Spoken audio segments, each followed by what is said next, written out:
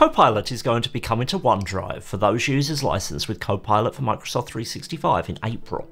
This follows on from OneDrive's big OneDrive 3.0 set of announcements last fall, and is the start of us seeing the AI integration that was promised then.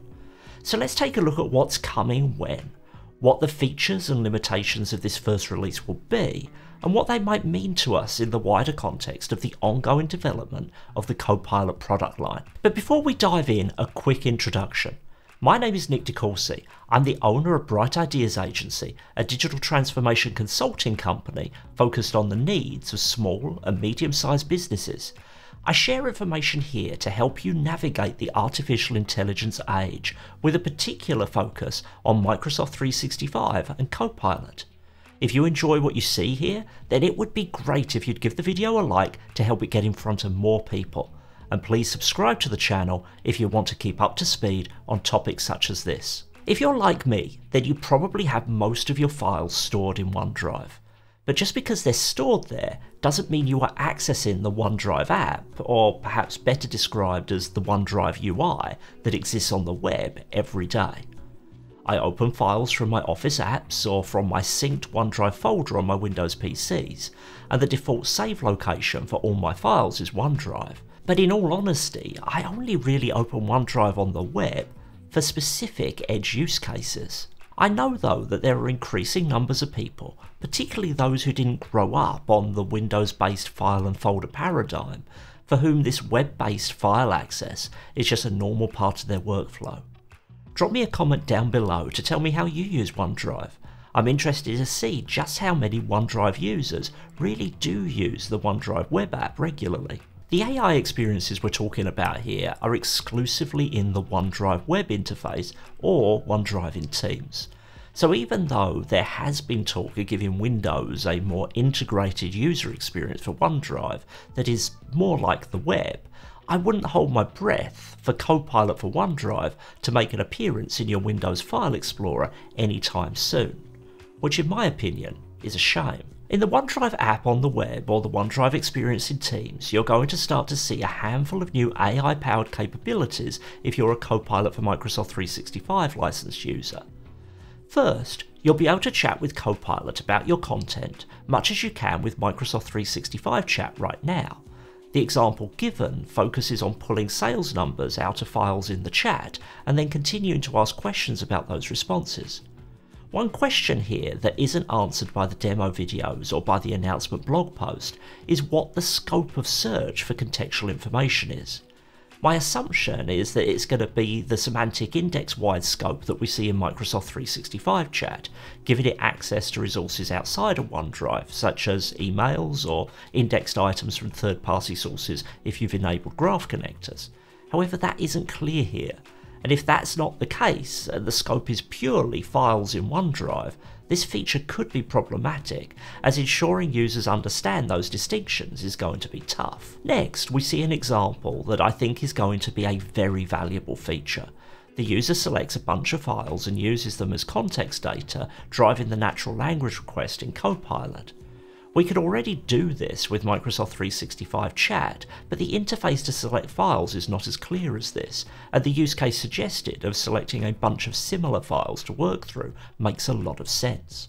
However, it's unclear what the capacity limits on this would be, as I don't know if you've tried to hire lately, but the idea you just get four resumes rather than 40 or 400 seems a little far-fetched. And for the use case like this, unless it can work with a realistic scale, it's not going to be super useful.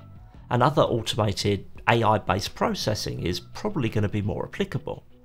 However, even if it cannot scale, I could see this as really useful for other types of work. For example, if you have multiple files related to a similar project or customer, this type of interface makes it far easier to ensure you're not missing anything in your context that you might miss inadvertently using the interface that we have elsewhere. I wonder if this capability will give us the ability to select folders as well as individual files. We'll have to wait to see. One of the things highlighted in the announcement is that Copilot in OneDrive can work with a wider range of files. This is great, but what's somewhat confusing is this list of file extensions is somewhat different than those that are listed as being indexed by the Copilot Semantic Index. So it's unclear what is going on here. Is the indexing going to change, so more files are going to be available to Copilot generally, or is something else going on in OneDrive? Unfortunately, I can find no reference to explain this inconsistency, so if you know something I don't, please drop a comment below. Copilot in OneDrive is also stated as being available in the file viewer in Microsoft Teams, OneDrive and SharePoint, though it's not immediately clear whether other aspects of this experience will come to SharePoint at the same time. And frankly, if you've already been using Edge with Copilot or Windows Copilot, a very similar experience is already available to what's shown here. Although, one little Easter egg that leads to a thousand questions is that the interface as shown also suggests you can open and reference different files in the context of viewing the one that's open. We'll need to wait to work out what possibilities this adds, as right now this is not something you can do in, for example, Word when asking questions of a document with Copilot. Last, and available starting this month, will be the ability to have Copilot add a file summary when you share a file. I can't say I have much experience of sharing files out of the blue with someone where they haven't already received context of why it's being shared from perhaps a meeting or an email, but I guess some people are looking for this.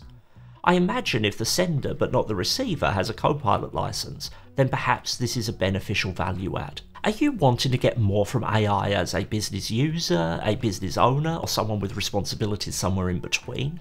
Are you confused about what products you need, or how to implement them safely, or just why these AI tools work the way they do? It makes sense. This is a confusing time, with lots of change, and a completely new paradigm of work coming to the fore. But I can help. Start with my on-demand video course, Fly into the Age of Copilots, available on my website, and for an introductory period it's completely free. Learn the basics of the impact of AI on small and medium-sized businesses, and how to move forward safely.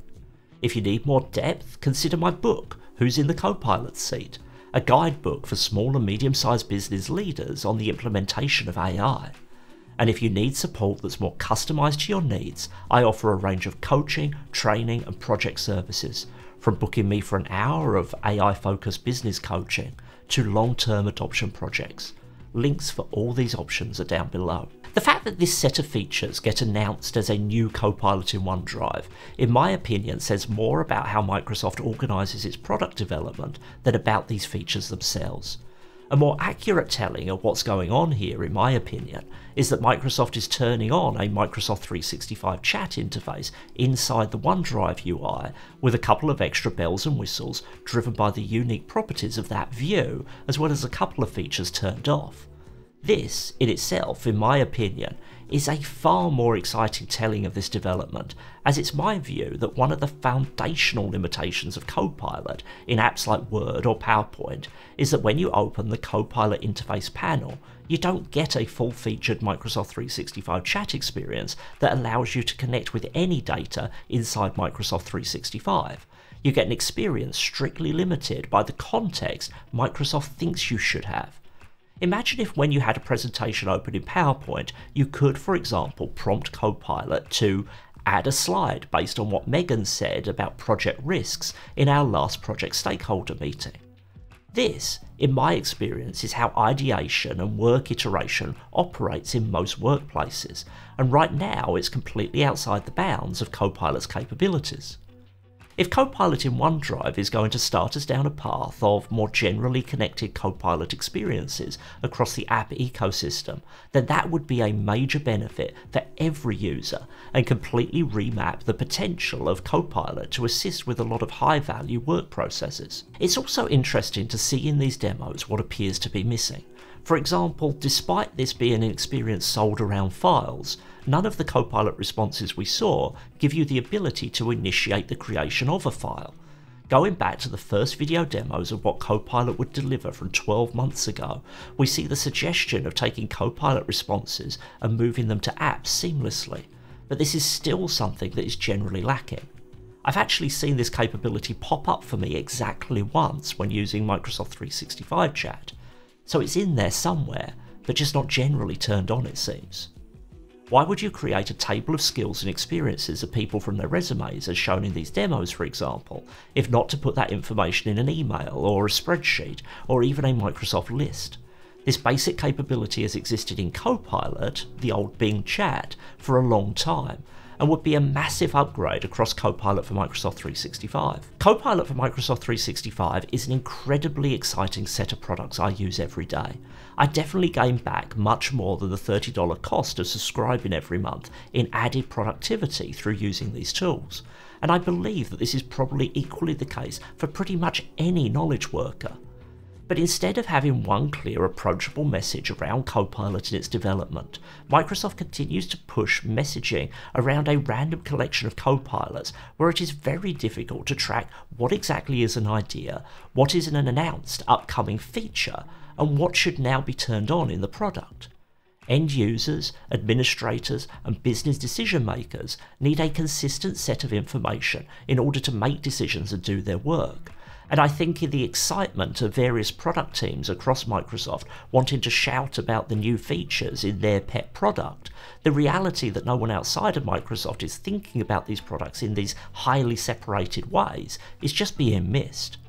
I would hate to see confused communication have a negative impact on people's appetites for a great product, but I fear the complexity of trying to keep track of all this is taking a toll. Overall, Copilot for OneDrive is exciting, but also it creates a lot of questions. And does it need its own excited announcement outside of the context of just another Copilot for Microsoft 365 feature update? Absolutely not. What do you think? Let me know down in the comments. Thanks for watching through to the end. Until the next video, bye bye.